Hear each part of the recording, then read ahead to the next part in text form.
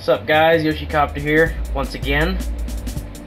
And as of right now, time of this recording, about half hour away from Sony's press conference. Um, if you have not seen my thoughts about Microsoft, you can go ahead and click the annotation in the video thing to go watch that, so. Sony, what do you got in store for? Obviously, they're going to be talking a lot about the PlayStation 4 and upcoming games for the PlayStation 4. So, what am I expecting to see? Well, one thing I know for sure is that we're going to be getting the first live gameplay demo of Bungie's new game, Destiny, and I'm pretty excited for that. I can't wait to see that game in action. But other than that, I really don't know what they're going to be showing. I haven't really been following Sony too much. I do know they're going to talk about the Vita a little bit, probably. It just seems like a smart idea. That thing's kind of dead. You might want to save it while you still can. Uh, that's about it. There really isn't too much news for Sony, aside from Destiny, that, that I know of anyway And stuff that has already been shown or announced, like Metal Gear Solid and stuff like that. I did hear a rumor somewhere that there may be a showing of Uncharted 4, but I don't think that's likely, seeing as that Sony, you know, Naughty Dog just came out the release of The Last of Us, so it'd be a little crazy for them to already be working on a new Uncharted so soon. So, it would be nice, but I'm not holding my breath for it. So, that's about all I have to say. I'll see you guys again after the press conference is over. Let's see how it goes. Do not disappoint me, Sony. I'm looking up to you. Alright, folks. Sony's press conference has just now ended. And... Whoa just... I don't even know. Their press conference was fucking amazing. So many awesome announcements and awesome games I want to get. I am convinced I want to buy a PlayStation 4 now. Their conference made me want to get a PlayStation 4 and get it the day it comes out. I want a fucking PS4 and I want one now. So before we get to the awesome game, let's get on. Let's talk about some of the cooler aspects. Okay, first start with the low light. Their conference did start a little slow. I mean, they were just talking about like their sport entertainment packages and yada yada. It's like no one cares. But as soon as they got on with the games and other news people wanted to hear, holy shit, it just didn't stop. It was just non-stop awesomeness. They did show off the hardware, they showed what the console looks like, it's very small. It's I'd say it's smaller than the current Xbox 360. And it looks a little bit like a PlayStation 2, somewhat to me. Looks like the, the slim PS2. It kind of looks like that. Um, it will support used games, which is something a lot of people were hoping to hear, and that is totally the case. There will be no online DRM for anything, any games, any disc-based game, nothing. That's awesome news. People wanted to hear that. I wanted to hear that. So, when's it coming out? How much is it gonna cost? They didn't specify an exact date, but they did say holiday season this year, so quarter 4 2013. Makes sense to me. Probably November or December with a price of 399. Yep. $400 for that amazing console. Has almost the exact same specs as the Xbox One and is $100 shorter. Microsoft, you have got your asses handed to you on a silver platter with gold lining on a platinum tray. You have lost I do not want to get an Xbox One. There are games I want to play on Xbox One, but the PS4 has a bit more variety, and we're gonna get to that right now. So what did they talk about? They talked about a couple of Vita stuff. Nothing. They didn't really focus on the Vita too much, but they did talk about some cool stuff. Um, the Telltale's The Walking Dead games. If you have not played them, you should. They're really good adventure games. But all of them, all five of ep episodes of season one are coming to the Vita, which is pretty cool. Play that game on the go. And they also said that season two will be available this summer. I was hoping to hear that. That's cool. They have a bunch of HD re-releases coming out, like God of War, Final Fantasy X and X-2, and all this stuff. Okay, cool. They then talked about a game called Rain, which I have not heard of. I'm pretty sure other people have, though. Looks to be some sort of, like, puzzle game where you're a spirit in the rain or something. I, I don't really get what's going on. They showed another trailer for Beyond Two Souls, and it looks to be a lot more interactive than Heavy Rain was but still has that movie-esque quality to it, much like Heavy Rain does, since it's made by the same developers. They then showed Gran Turismo 6, when, well, it was Gran Turismo 6. They showed another trailer and slight gameplay for the new Batman game, Batman Arkham Origins, and it looked pretty cool. A lot of the new gadgets they showed looked pretty silly. Like, there's one where you can attach two guys to each other and they'll fly into each other and smack heads or something. It's classic Batman, that's awesome. Then they showed Grand Theft Auto 5. They at least talked about it, they didn't really show anything. Talking about like bundles and stuff like that. Alright. Then they got on with the PS4 stuff, and it was nothing but PS4 games from here on out. They first showed some sort of new game called The Order 1886.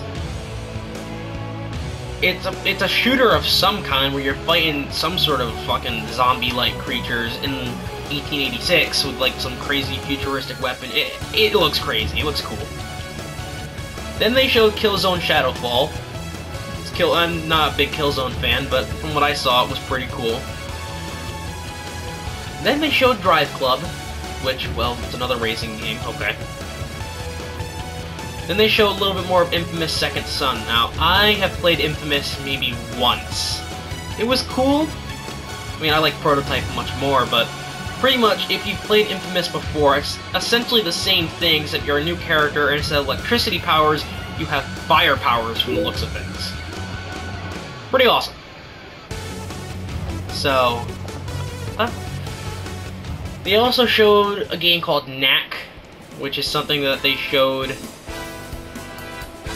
um,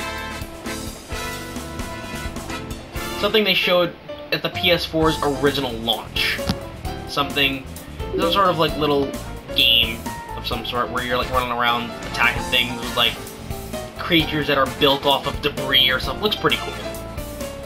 Then they had something called the Dark Sorcerer, and if you remember, if if you ever watched the PS4's live reveal a couple months ago, um, they had a tech demo of some old guy's face. Apparently, that was a game. It's called the Dark Sorcerer, but the trailer they had for it appears to be a spoof. It was this dark, this sorcerer guy doing this cool magic, and all of a sudden he screws something up and realizes it was just a commercial shoot of some kind.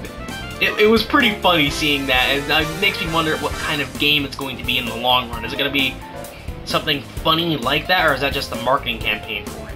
Who knows? Then, Supergiant Games, the guys who made the amazing indie hit Bastion, are working on a new game called The Transistor. I hope I'm saying that right. It looks to be in the same style as Bastion, you know, the top-down action RPG, you know, lock-on combat, super awesome art style, all that stuff. So that's going to be exciting. And then a whole bunch of other indie games, some that we knew about, like Don't Starve, like that's coming to PS4, and a couple of newer ones. Um, I can't remember the names off the top of my head. I didn't really jot them down. They were going by a little too fast for me. But there's this one where it's like a spaghetti western kind of thing, where it's like a top-down shooter. It looks pretty cool. There's one that you command like a zombie army. It reminded me a lot of Stubbs as a zombie, except a lot more child-friendly. And then, probably the my highlight of the of the show Tetsuya Nomura, um, a character designer and game director over at Square Enix, had a message for everybody showing off Final Fantasy Versus 13, like the first gameplay ever of the damn game ever since it was first unveiled way back when. Turns out, they've changed the title. It's no longer Versus 13, but now it is straight up Final Fantasy 15. I was expecting them to do something like that, but that's cool that they did that. And then what they showed next. Ooh boy, what they showed next. They showed the teaser trailer for Kingdom Hearts 3. I I screamed with joy. I was I was fucking ecstatic. I didn't know what to do. I just I'm so glad. It's finally coming. It looks absolutely fantastic on the PlayStation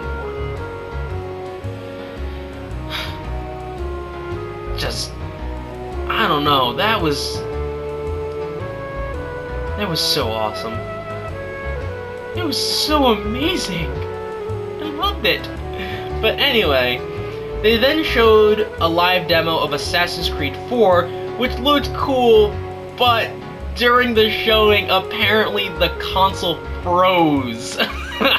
it froze and the guy didn't know what to do. It was it was terrible. It was an oh no moment. It almost killed him, but they instantly remedied it by just stopping Assassin's Creed 4 and bringing on a new thing of Watch Dogs, which still looks amazing.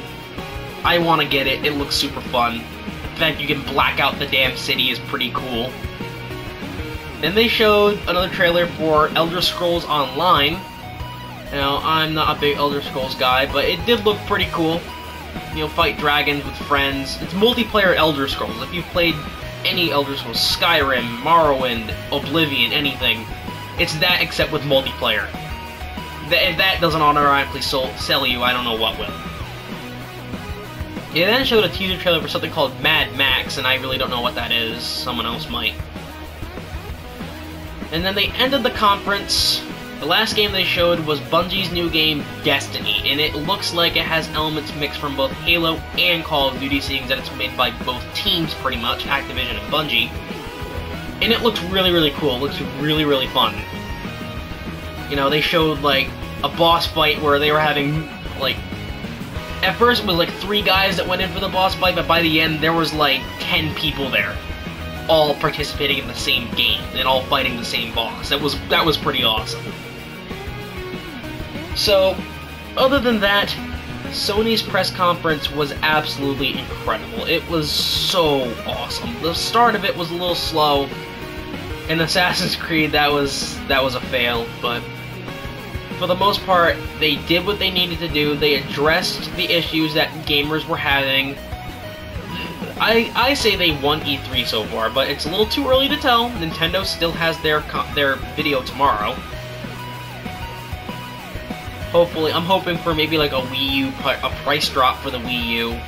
That would certainly help things, especially now, seeing as that you can get a PS4 for just 50 bucks extra if you really want. So if Nintendo lowers the price like $100 on both of their bundles, Nintendo's going to be in the clear. So, what's next? Two of the big three are down, one more to go. Nintendo, you're up. I'll go in a little more detail what I'm expecting tomorrow morning, but all I know is that it's 11.30 at night, I'm tired as hell, but I'm gonna have some good dreams tonight. So, I will see you all tomorrow after Nintendo's showing. But before I before I go, before I go to sleep, I'm gonna go watch that Kingdom Hearts 3 trailer one more goddamn time. That was too fucking awesome. So anyway, I will see you guys soon. This is Yoshicopter, signing off for the night.